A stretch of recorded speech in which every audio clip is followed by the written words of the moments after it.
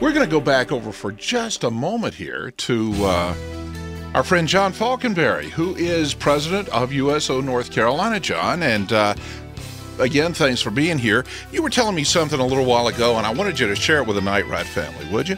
Well, sure. I mean, over since I've been in USO North Carolina as a president, you guys and your listeners have been so generous that to date, it's almost twenty-five thousand dollars in a year that you guys have given me.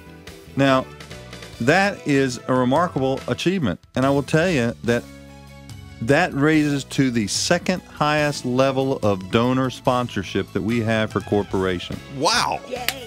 That's right. How about you that? know? Yay. That's So- awesome. It Night. Ride family, you ought to feel good about that. You're the second highest donor to the USO for the That's right. calling we, cards. we in this. have uh, we have levels of sponsorships.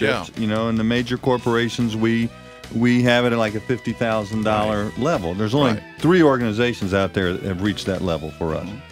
But the next tier down is twenty five thousand dollars, and there are not many in that group. Your family is one of those in there. So that's a that's a big hooah, as the Army says. Or, or hoorah, as the Marines say. Mike Mike asked me, was I Marine? I said no, right, but I am bilingual. So you know.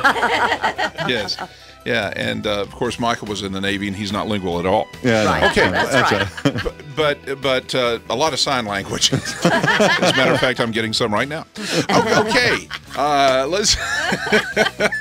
I just want to say, Bruce, how proud I am of the Night Ride family, and I thank them so much Me too. for what they're doing. I mean, it's just amazing. Twenty-five thousand dollars. That's awesome. Yeah. In an economy where we're thirteen and a half percent unemployed, awesome. Our people give sacrificially with love, and I just appreciate them so much. Troops, I want you to hear that. I want you to hear that. Yes.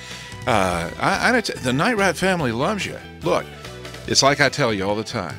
I don't care what flavor you are Democrat, Republican, I don't care. Matters not. What your color is, I don't care.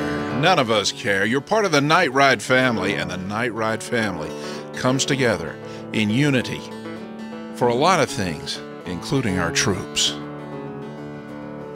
This is Night Ride USA.